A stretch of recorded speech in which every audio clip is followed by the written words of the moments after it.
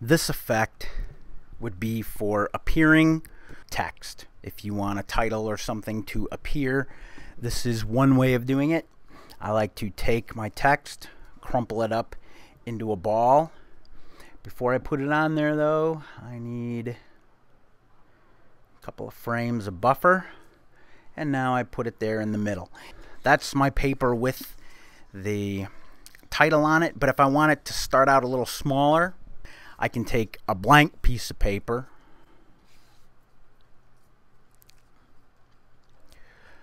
and put it in there. It's smaller, and then I'm going to take two frames. I like the uh, special effects like this, the appearing, to go a little bit quicker. So I do two frames instead of three. Then I can replace and you notice there on the left it has the ghost image. So I can replace the smaller ball with the larger ball. Take two frames. Open the ball up a little bit. Take two more frames. And just keep doing that. Replacing it right back on top of the previous one each time I start showing a little bit of the text.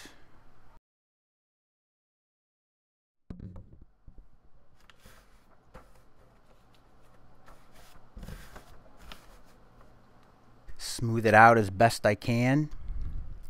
Now for people to be able to read the text, it has to stay longer. My rule of thumb is it should be there for about 15 to 20 frames depending on how much text there is. So I will just add a bunch of frames. Now, if you notice, it's a little bit hard to read because it's in pencil. I did that on purpose to show that using pencil, not a good idea. This should be a bold, nice, dark, contrasting color. So a black Sharpie would be good. So I'm going to do that right now.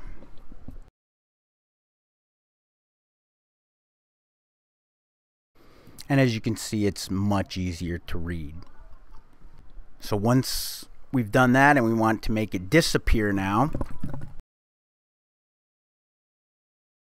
I just do it in reverse.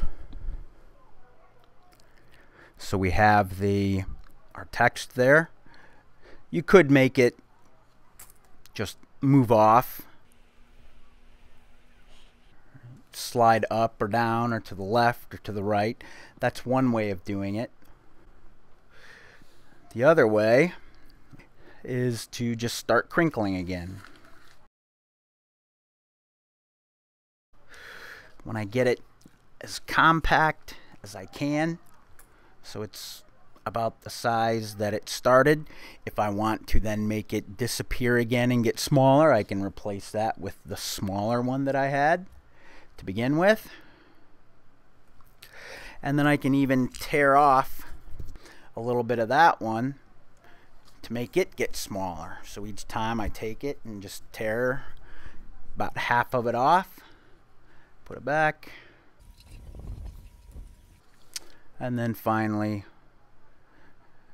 do about seven or eight frames without it before you start the action. This is what the final animation would look like.